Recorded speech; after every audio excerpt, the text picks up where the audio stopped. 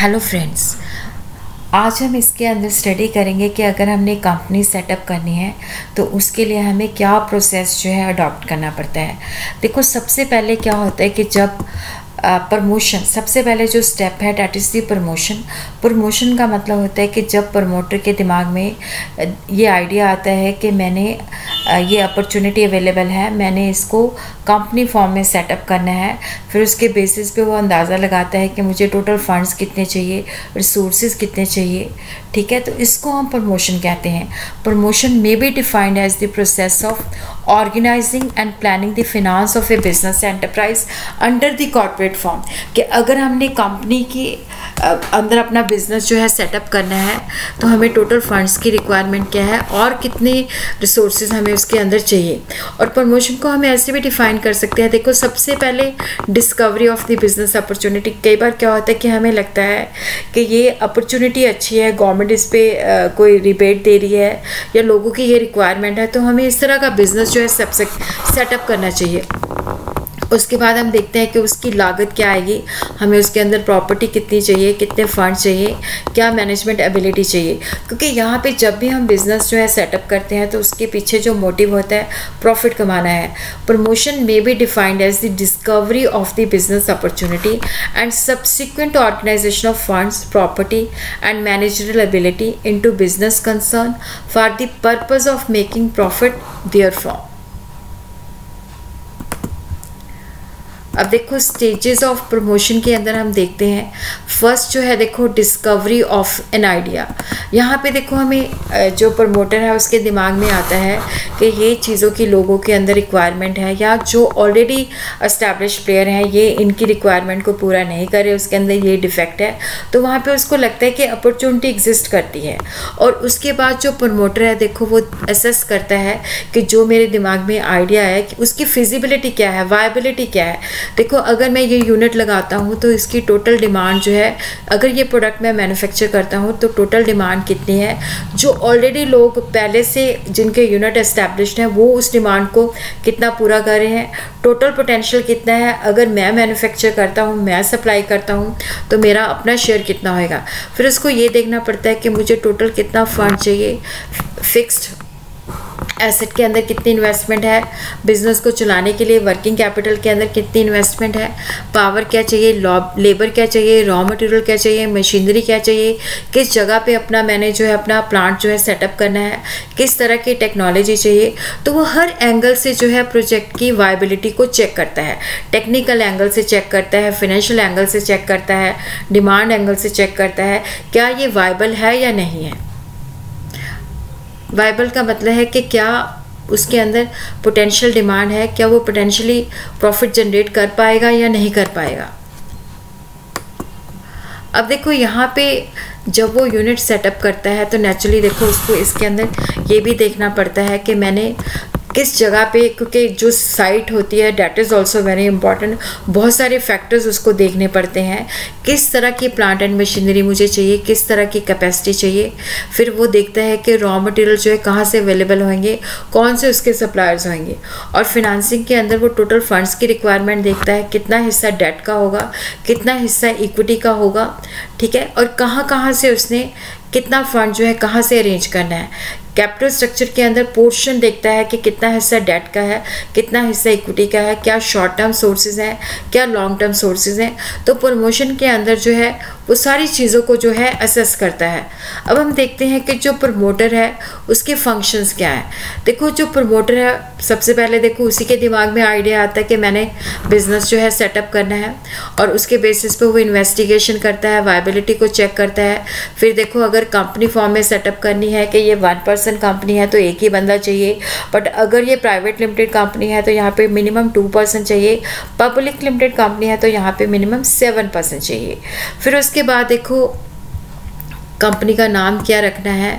Registered office कहाँ पे setup करना है? और शेयर कैपिटल जो है इक्विटी इशू करनी है प्रेफरेंस शेयर इशू करनी है। रिक्वायरमेंट क्या है? किस तरह से ब्रोकर और अंडर को उन्होंने अपॉइंट करना है ताकि शेयर की फॉर्म में पैसा जो है कलेक्ट किया जा सके? बैंकर कहाँ बैंकर्स के पास जो अपना खाता खुलवाना है करंट अकाउंट ऑडिटर कौन से अपॉइंट करने हैं? लीगल एडवाइज़र किसकी हेल्प लेनी है?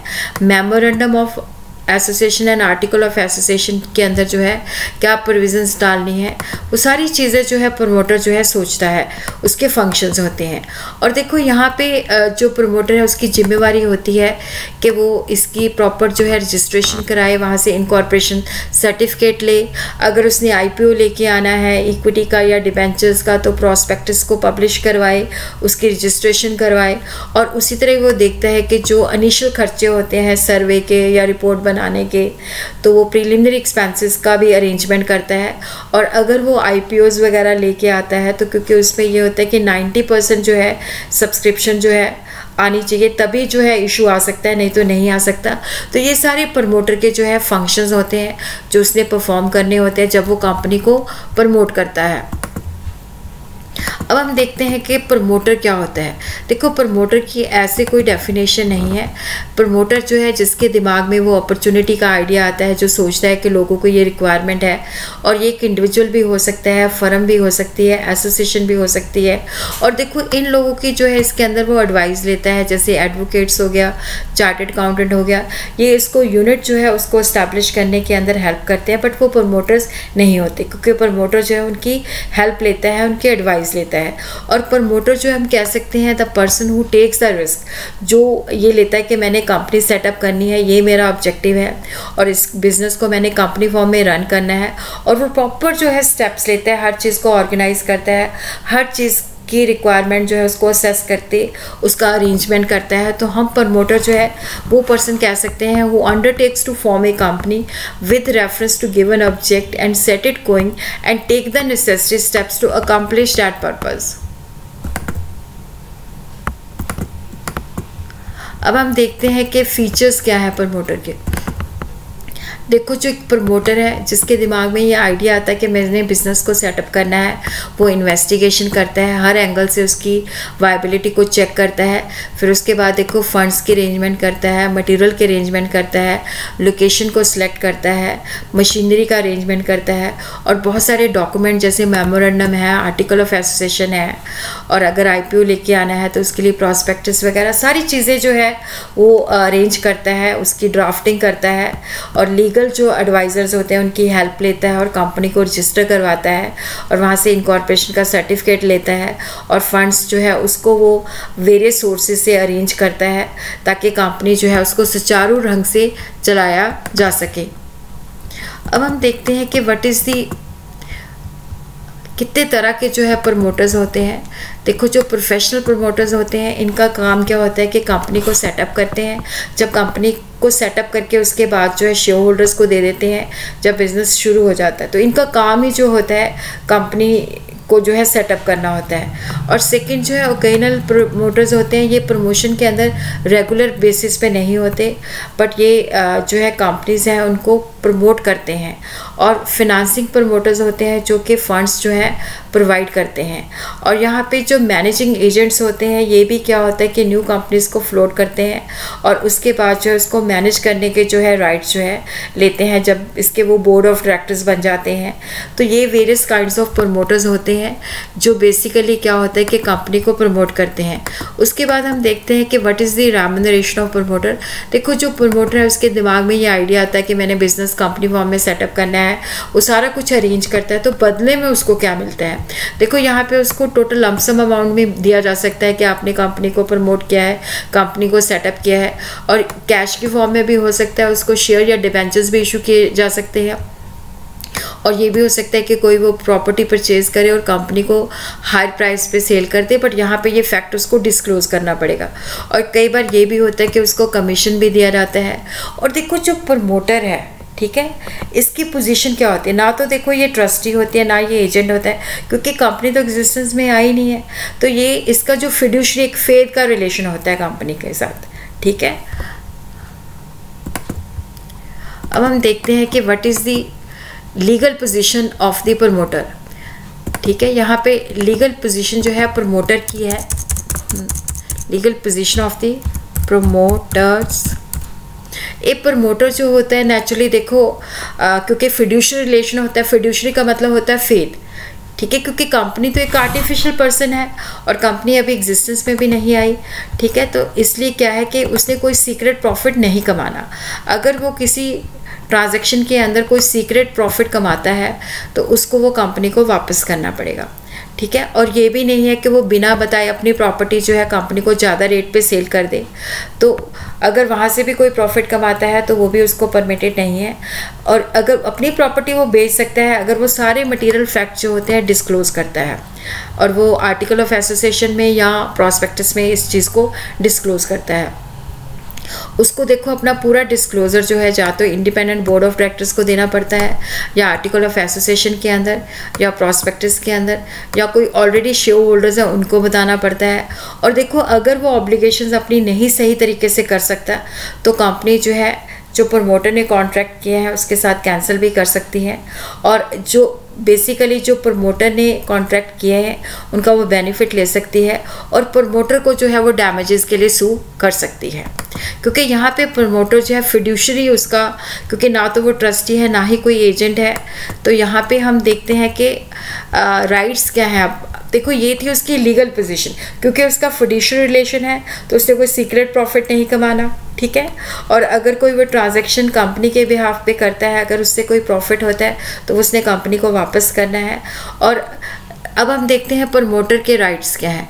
देखो प्रमोटर के राइट्स ये होते हैं कि यहाँ पे बेसिकली राइट ऑफ़ इंडेमनिटी देखो, कई बार क्या होता है कि जैसे प्रोस्पेक्टिस है, उसके अंदर क्या होता है कि कोई अनट्रू स्टेटमेंट आ जाती है तो काफ़ी सारे प्रमोटर्स होते हैं तो वहाँ पे उनको पेनल्टी लगती है तो एक प्रमोटर पे कर देता है तो वो बाकी प्रमोटर से जो है ड्यूज़ अपनी कलेक्ट कर सकता है। Where more than one person act as a promoter of the company one promoter can claim against another promoter and compensation and damages which are paid by him promoters are severally and jointly directly liable for untrue statement in the prospectus और यहाँ पे देखो, जो भी basically उसने company को setup करने के अंदर प्रिलिमिनरी खर्चे किए होते हैं, वो वसूल कर सकता है। बट ये डायरेक्टर की डिस्क्रिप्शन के ऊपर डिपेंड करता है अगर वाउचर्स हैं और डायरेक्टर जो है उसको वापस देना चाहते हैं तो वो करेंगे। और उसी तरह वो रेमोनरेशन जो है लमसम के अंदर भी रिसीव कर सकता है कमीशन भी रिसीव कर सकता है। आ, मतलब ये कंपनी उसको शेयर भी जो है अलॉट कर सकती है जो उसने कंपनी को प्रमोशन जो सेटअप किया है। अब हम देखते हैं कि what is the duty of the promoter देखो, उसकी ड्यूटी ये बनती है कि कोई सीक्रेट प्रॉफिट अगर किसी ट्रांजेक्शन के अंदर कमाता है तो उसने बताना है। और अगर कोई प्रॉपर्टी अपनी वो सेल करता है, वहाँ पे मटेरियल फैक्ट्स बताने हैं। और नेचुरली वो कंपनी क्योंकि वो ट्रस्टी के रूप में काम कर रहा है तो वहाँ पर कंपनी के हित को देखते हुए काम करना है। और यहाँ पे नेचुरली अगर उसकी कोई जब वो प्रमोट कर रहा है तो अगर उसके किसी के साथ किसी ट्रांजैक्शन के अंदर खुद का इंटरेस्ट है या खुद प्राइवेट अरेंजमेंट है तो वो उसको डिस्क्लोज करनी पड़ेगी। अब हम देखते हैं कि लाइबिलिटी क्या है। देखो लाइबिलिटी तो ये है कि अगर कोई सीक्रेट प्रॉफिट कमाता है तो वो वापस करना पड़ेगा। अगर प्रॉस्पेक्टस के अंदर वो कोई गलत लिखता है, कोई अनट्रू स्टेटमेंट देता है तो वहाँ पे प्रमोटर जो होता है कंपनसेशन देनी पड़ेगी। अगर किसी को उसकी वजह से लॉस या डैमेजेस हुआ है।